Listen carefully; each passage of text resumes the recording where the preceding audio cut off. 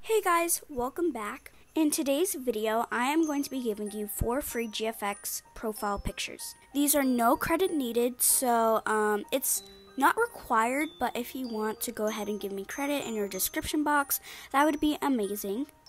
Anyways, I just want to say thank you so, so, so much for 1K. That is absolutely insane. And yeah, let's just go ahead and get on into the video.